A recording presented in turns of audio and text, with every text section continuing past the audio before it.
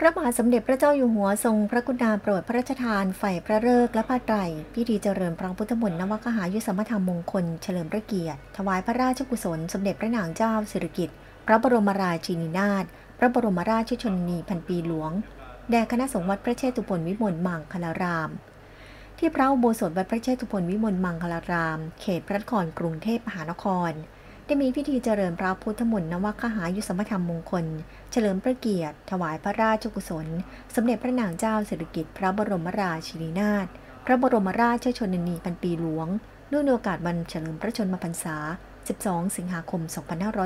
2566 และเพื่อความเป็นสวัสดิมงคลแก่ประเทศชาติและประชาชน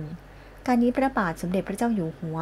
ทรงพระกรุณาโปรดพระราชทานไฟพระเลิกษ์และพระไตรประกอบพิธี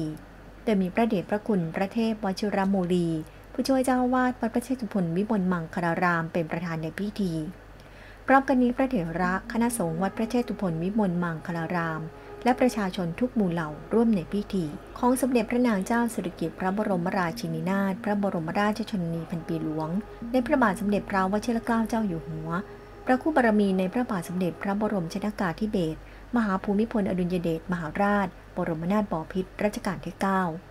ณะสงฆ์วัดพระเชตุพนวิมลมังคลาราม โดยเจ้าประคุณสมเด็จพระมหาธีราจารย์ กรรมการมหาเถรสมาคม เจ้าวาดวัด ถึงได้ร่วมกับศิษยานุศิษย์ตลอดจนประชาชนทุกหมู่เหล่า แสดงออกซึ่งความสามัคคี ถวายความดีเป็นพระราชกุศล จัดพิธีเจริญพระพุทธมนต์นวัคหายุสมธรรมมงคล อันเป็นพิธีที่ประกอบแด่ผู้ควรเคารพ ด้วยสร้างสิริสุขสวัสดิมงคล ทั้งต่อพระองค์ ประเทศชาติ และประชาชนในบ้านเมือง